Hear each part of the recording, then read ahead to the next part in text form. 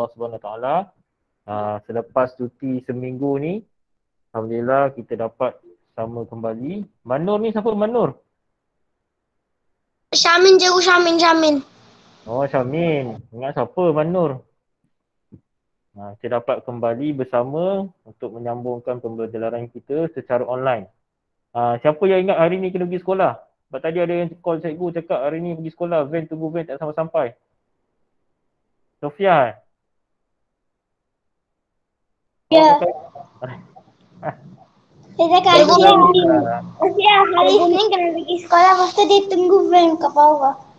Ha. Cikgu mimpi, dia mimpi, mimpi. Itulah kan cikgu dah bagi lembaran kerja. Takkanlah cikgu bagi lembaran kerja awak kena datang sekolah. Ha, maksudnya awak kena belajar online lagi lah. Belum lagi. Sekolah belum buka lagi. Lambat lagi. Di, di cakap saya nak saya kena pergi sekolah, saya seronok sangat. Malam-malam saya tak tidur dia cakap. Amboi. Lama sangat tak pergi sekolah lah tu. Rindu sangat lah.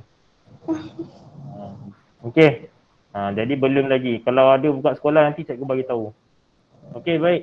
Untuk hari ini kita akan belajar pendidikan Islam iaitu uh, topik yang seterusnya dalam bahagian akhlak kita akan sambung bahagian akhlak iaitu uh, adab berjalan. Uh, adab berjalan. Nampak nak berjalan pun kena adab. Uh, kalau tak ada adab nanti awak akan jadi orang yang tak beradab. Uh, jadi kena beradab. Okey kita tengok. Ya, perlu share.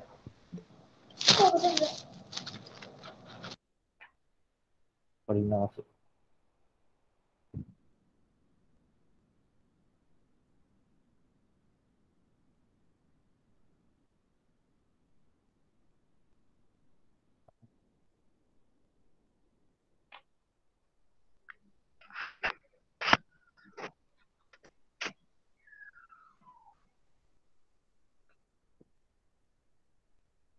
Assalamualaikum Cikgu Wan.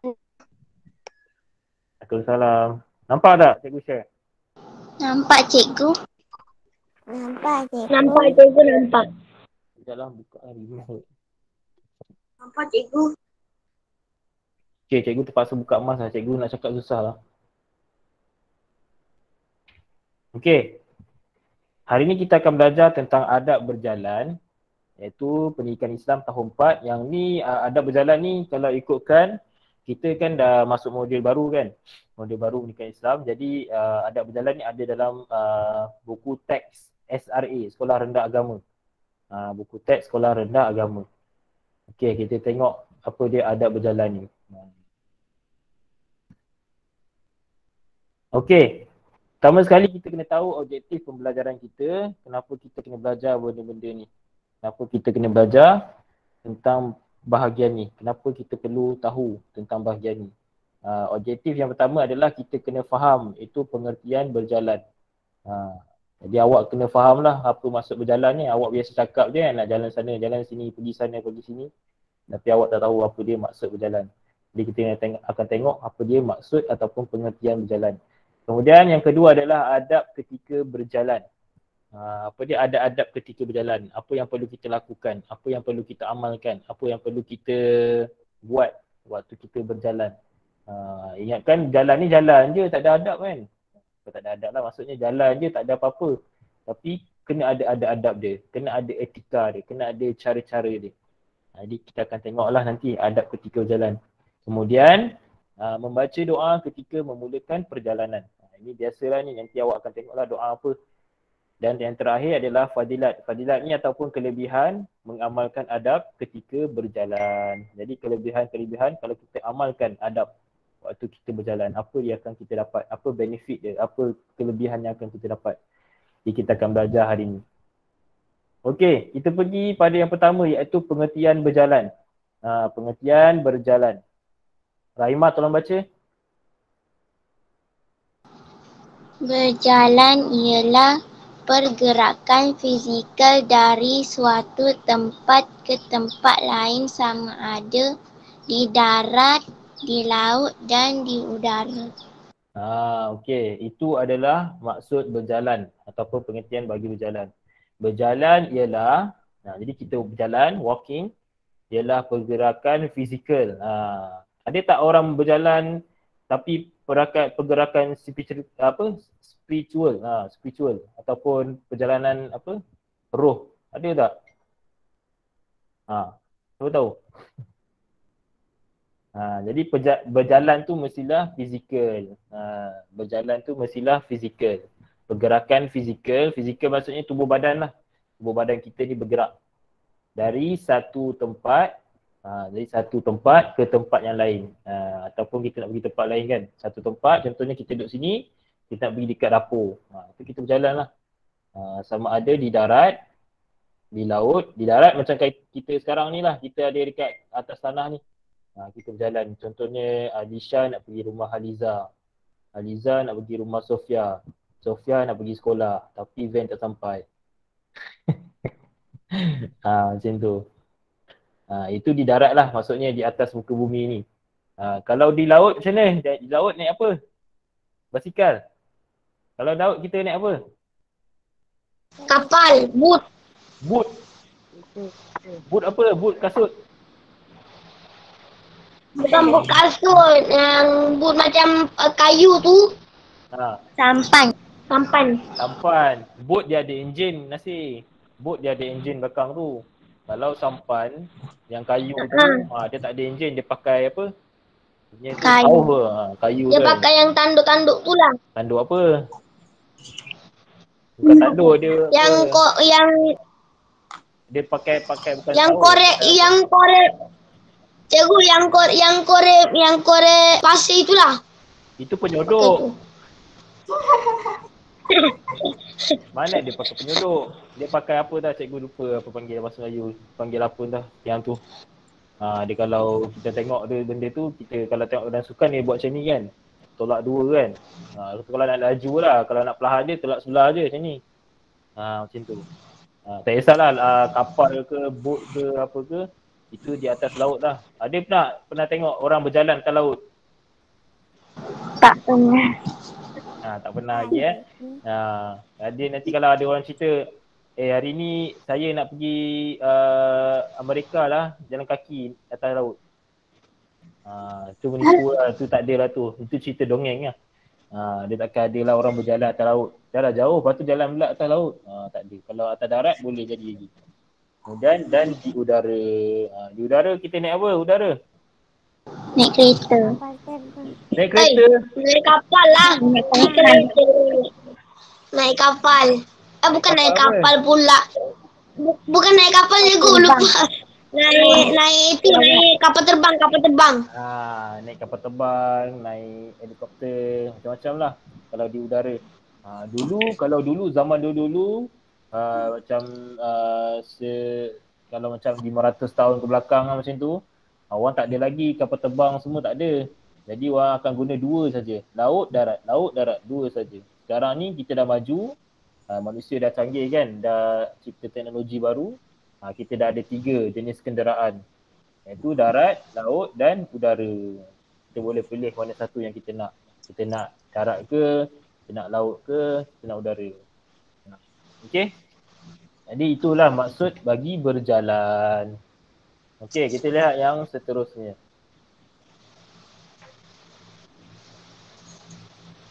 Okey, adab ketika berjalan. Uh, adab ketika berjalan. Apa tu? Adab ketika berjalan. Haliza tolong baca.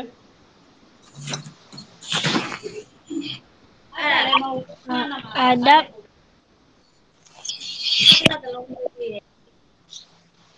Aliza nenek awak bising lah. Meminta izin Tutup dah. Pada ibu bapa apabila hendak keluar hendak kel, keluar rumah. Merak memba- memakai kasut Hmm. ni, niat dan berjalan dengan tujuan baik berdua dua Berdoa. kepada Al- Allah Subhanahu Wa Taala memulaikan dengan lang, langkah kanan berhenti hen- jalan dan mengikut Peraturan. berhenti berhenti beraturan Hmm. mengikut mm, ber, memberi sa- memberi salam ketika ketemu Hmm. semasa Sesama Se- Islam. sesama Islam Hmm. mm, memberi laluan kepada orang yang lebih tua. Okey. Okey, jadi uh, dalam kita nak berjalan tu kita kenalah ada adab-adab dia. Uh, kita kena amal-amalkan adab-adab ni. Uh, kalau tak ada adab nanti kita jadi orang yang sembrono kan, orang yang tak ada inilah, tak ada attitude yang baik lah. Uh, tak ada akhlak kan. Jadi kena ada adab. Itu ada adab ketika berjalan. Yang pertama adalah meminta izin daripada ibu bapa bila hendak keluar rumah. Uh, awak dah besar, awak macam sekarang ni awak duduk dengan mak ayah awak kan. Jadi awak kena minta. Cakap mak, ayah saya nak keluar ni, nak pergi rumah Liza. Mak, ayah saya nak keluar ni, nak pergi sekolah tapi van tak sampai. Ha, tadi itu cerita Sofia lah. ha. Mak, ayah saya nak keluar ni pergi kedai. Ha, kena minta izin. Nanti mak ayah awak cari awak kan. Mana Alisha ni? Tiba-tiba hilang. Panggil Alisha, Alisha tak ada pun jawab kan. Ha, dia kena bagi tahu lah. Bagi tahu mak, bagi tahu ayah. Supaya apa kita minta izin orang kan. Ha, sebab kita masih di bawah jagaan ibu bapa kita. Kena minta izin lah. Kena minta izin. Itu adab dia. Kemudian menutup aurat. Ha, keluar rumah kena tutup aurat.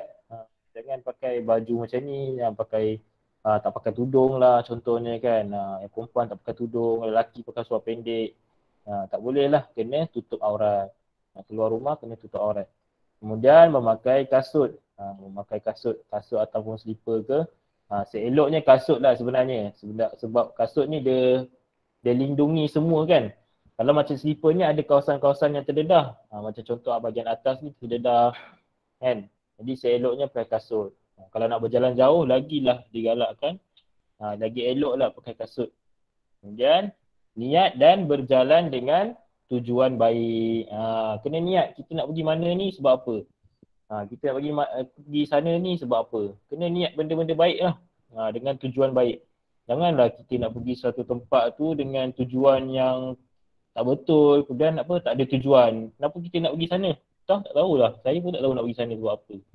Ha, tak boleh lah. Jadi kalau nak pergi suatu tempat tu kena ada tujuan. Ha, tujuan dia apa? Okey saya nak pergi taman hari ni. Hari ni saya nak berjalan pergi taman. Tujuan dia saya nak uh, exercise, saya nak bersenam, nak sihatkan tubuh badan. Ha, itu kan niat yang baik. Tujuan yang baik. Ha, janganlah kita niat sesuatu yang tak baik. Okey saya ni saya nak pergi saya berkafe. Saya berkafe tak buka lagi PKP kan.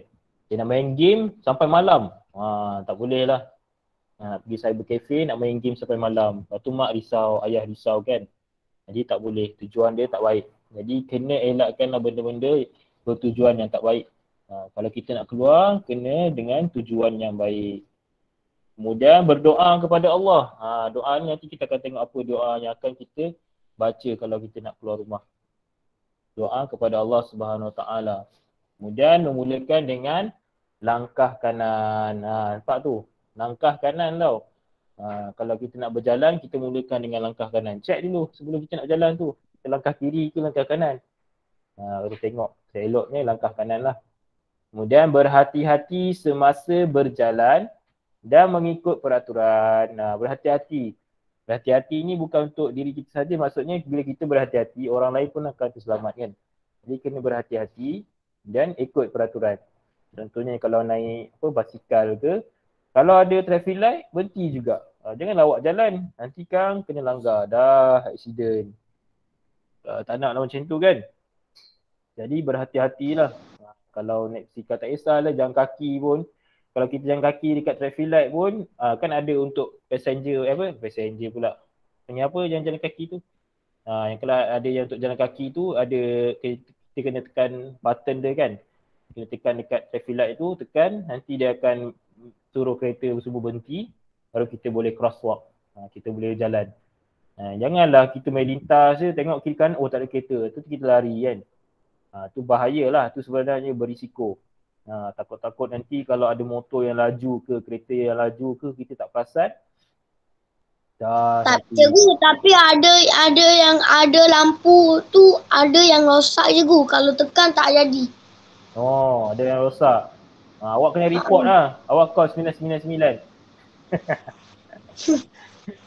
ha, kalau rosak tu awak kena berhati-hati lah. Kena tengok kiri kanan, tengok betul-betul kan. Ha, sebelum nak lintas tu tengok betul-betul. Pastikan betul-betul ada ni- kereta masuk jaga Kalau depan. saya rentas saya benerin dulu baru saya pergi. Ha. Oh, Tak kisahlah awak nak dulu. tak kisahlah awak nak macam mana tapi berhati-hatilah, berhati-hati. Ha, tengok keadaan betul-betul tenang baru awak lintas kan. Janganlah awak terburu-buru. Ha, bahaya. Kadang-kadang kita tak tahu kan. Jadi jangan terburu-buru lah. Berhati-hati.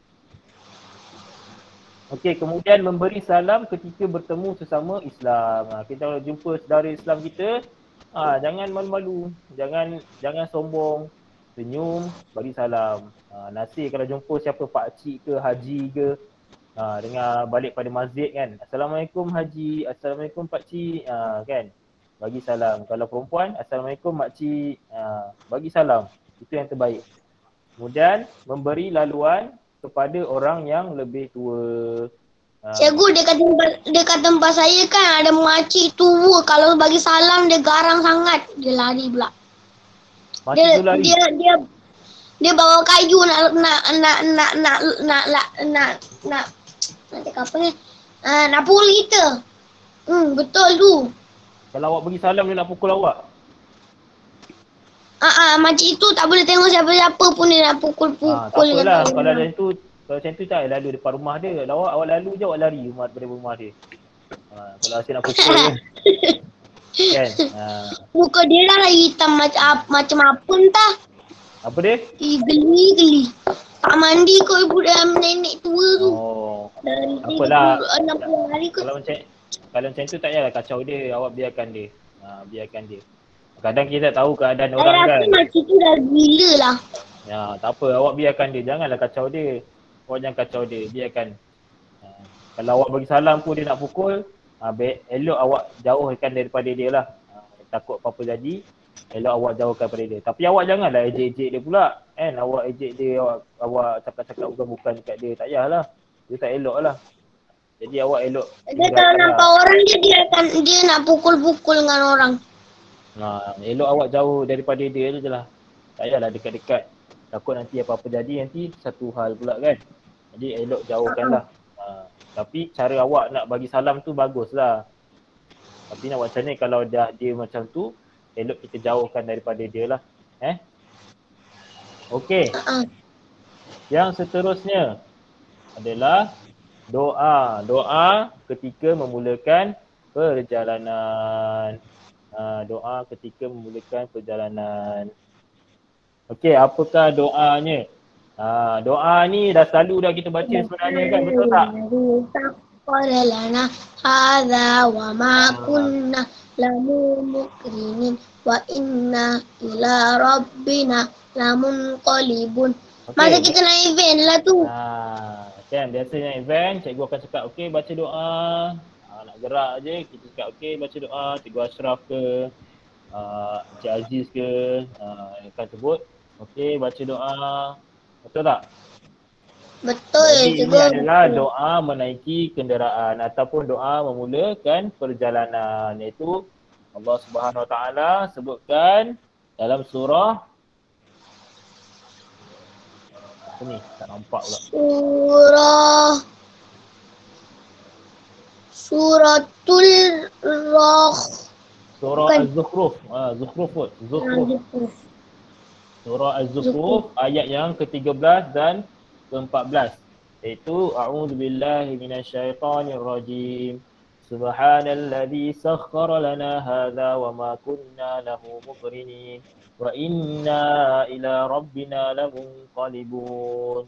Ha ini adalah doa yang elok kita uh, apa ni amalkan ketika kita nak memulakan perjalanan tak kisahlah kalau tak naik event ke kalau naik motor ke, naik basikal ke, ha, kita baca. Jalan kaki ke, kita baca doa ni. Baca dia doa. Subhanallahi sakhara lana hadza wa ma kunna lahu muqrinin wa inna ila rabbina lamunqalibun. Ha, maksud dia apa? Maksudnya subhanallahi maha suci Tuhan yang memudahkan kenderaan ini untuk kami. Ha, apa tu? Allah Subhanahu Wa Taala yang memudahkan kita untuk bergerak dengan memberikan kenderaan ataupun beri kita kesihatan fizikal kaki kita boleh berjalan. Kemudian sedang kami sebelum ini tidak terdaya menguasainya. Ha, sedang kami sebelum ini tidak terdaya menguasainya dan sesungguhnya kepada Tuhan kami akan kembali. Nampak ni?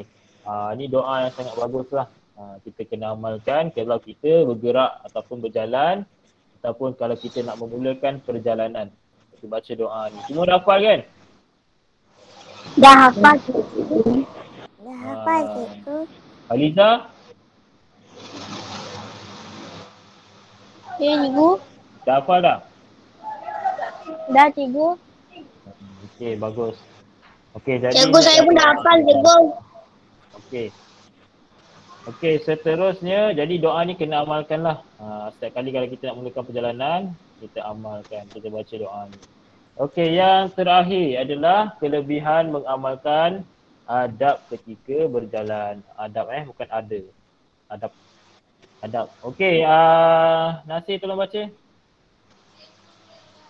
Uh, kelebihan mengamalkan adab ketika berjalan. Hmm. Satu, selamat dalam perjalanan. Hmm. Dua, disukai rakan dan kenalan. Hmm. Tiga, dihormati oleh orang lain. Hmm. Empat, dilindungi Allah Subhanahu Wa Taala da- dari bahaya. Lima, maruah diri terjaga. Enam, ber- mendapat pahala.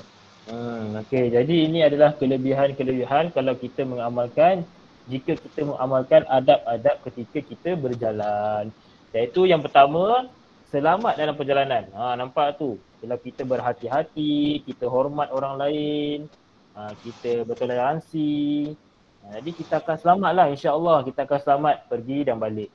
Kemudian disukai rakan dan kenalan. Ha, kalau kita menjaga adab-adab ketika berjalan, orang senang dengan kita orang apa orang sukalah ha, orang disenangi ha, kita ni disenangi orang apa ni orang tak adalah macam eh kalau dia ni saja ha, mulalah kan ha, tak naklah macam tu jadi bila kita berjalan je orang senang kan nampak kita oh ni nak pergi sekolah oh Alisha ni nak pergi sekolah oh Rahimah ni nak pergi sekolah jadi kita senang lah kan ha, orang senang tengok kita kemudian dihormati oleh orang lain. Ha, nampak tu. Orang hormat kita. Orang beri laluan. Orang tolak ansur dengan kita. Kalau kita tolak ansur dengan orang, orang tolak ansur dengan kita.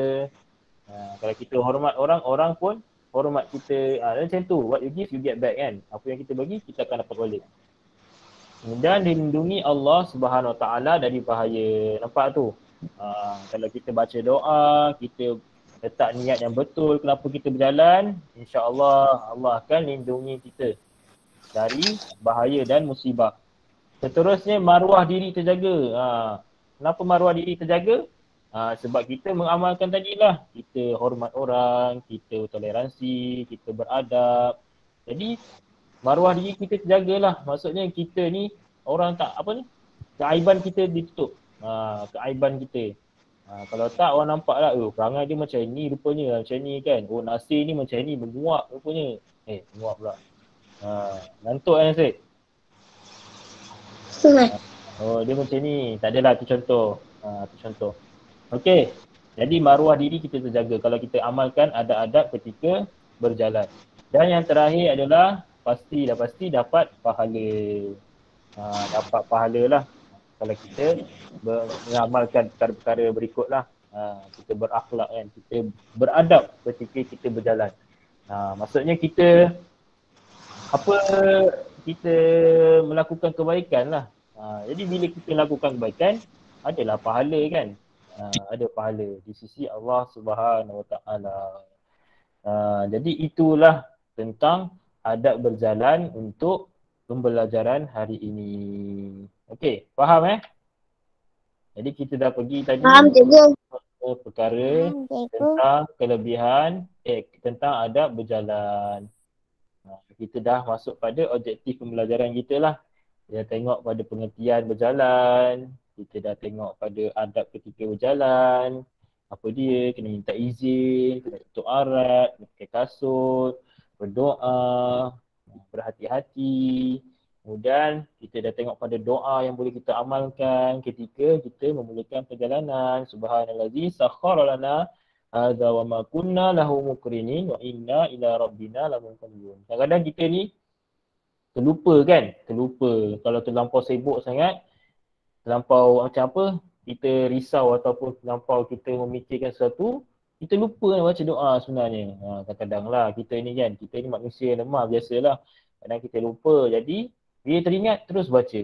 Ha, jangan tinggal lengahkan lagi. Bila teringat terus baca. Subhanallazi Sakhara lana hadza wa ma kunna lahu muqrinin wa inna ila rabbina lamunqalibun. Yalah kadang kita nak cepat, kita rushing nak pergi sesuatu kan. Terlupa nak baca doa. Jadi dia teringat terus baca. Kemudian yang terakhir adalah kelebihan-kelebihan yang akan kita dapat jika kita mengamalkan adab ketika berjalan. Itu sahaja tentang pembelajaran hari ini. Ada siapa nak tanya? Tak ada cikgu.